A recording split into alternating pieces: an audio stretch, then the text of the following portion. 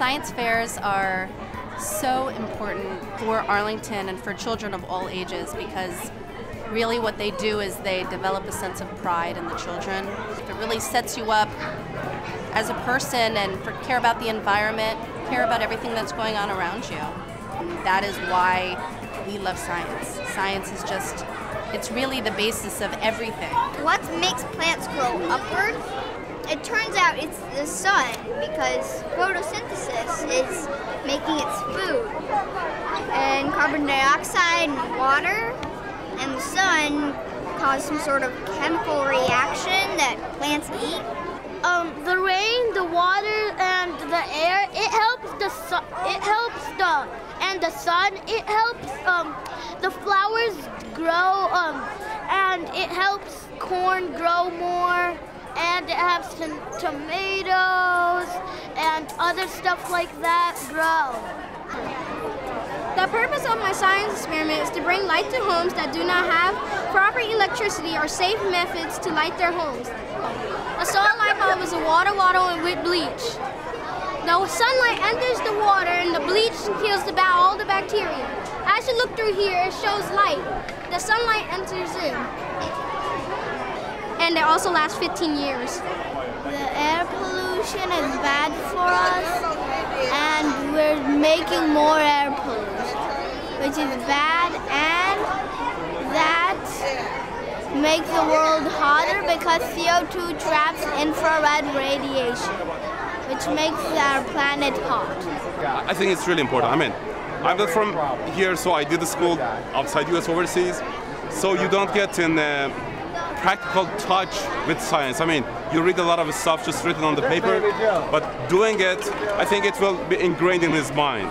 Now, I think if he hears something about air pollution on the radio, he knows what they're talking about.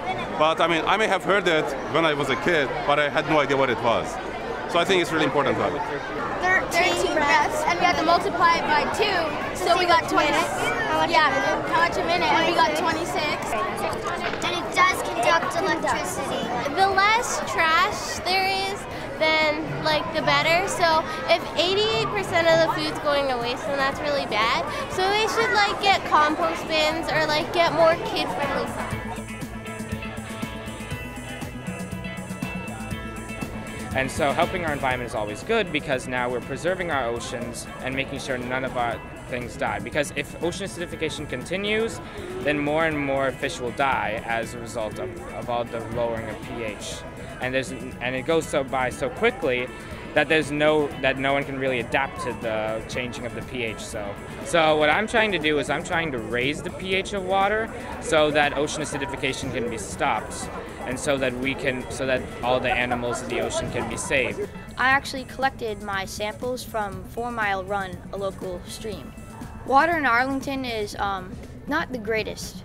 It could be a lot better, mostly from dog droppings around the neighborhood that people are not cleaning up. So let's shape up on that half of our pet patrol.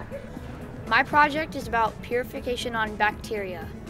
Um, this means that I use different methods of purification to remove bacteria from water. So I would stick with ultraviolet light because it's the most efficient. It only costs about $30 for a good standard ultra, ultraviolet light wand, and it's the most practical one to use. I figured out in my experiment that laundry detergent works best to remove the oil out of the feathers and um, could potentially um, save the birds if the oil is all removed off of the bird. I think it's important for younger people um, in the world today to know about these problems and to find ways to solve them. So for my project, I did the effect of land use on the radioactivity levels in and around Arlington. Once I was done finding the gross rates, I compared them to EPA standards, and I found that the levels in Arlington are actually right where they need to be, um, actually lower. Arlington is definitely a great place to live. We need to care for other people. Other people don't have money. Some people are homeless. We need to help them and stand up.